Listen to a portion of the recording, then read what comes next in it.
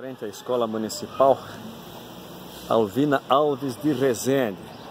Mariano foi quem foi me trazer até aqui. Mariano, essa escola aqui é uma escola já de, de muito tempo, funcionamento? Não, essa aqui é um prédio aproximadamente uns 12 anos. 12 anos. E aqui é que vai ser o evento? Sim. Todos os servidores eh, municipais da área da saúde, da educação? Sim. E são quantos aproximadamente? Uns, umas 250 pessoas. Então aqui é Tapira.